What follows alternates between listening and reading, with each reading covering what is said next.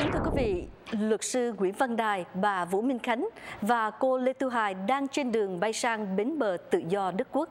Tin vui bất ngờ dành cho giới đấu tranh trong ngoài nước.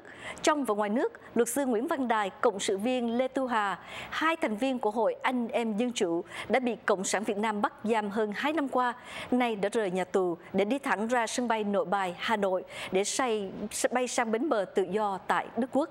Cùng đi với luật sư Nguyễn Văn Đài còn có vợ của ông là bà Vũ Minh Khánh. Được biết chuyến bay của luật sư Nguyễn Văn Đài mang số VN037 rời Hà Nội vào lúc 22 giờ 05 tối thứ năm ngày 7 tháng 6 và sẽ đến thành phố Frankfurt Đức Quốc lúc 5 giờ 58 phút sáng thứ Sáu ngày 8 tháng 6 giờ châu Âu, 11 giờ 58 phút giờ Việt Nam cùng ngày. SBTN sẽ cập nhật thông tin về sự kiện quan trọng này đến quý khán giả.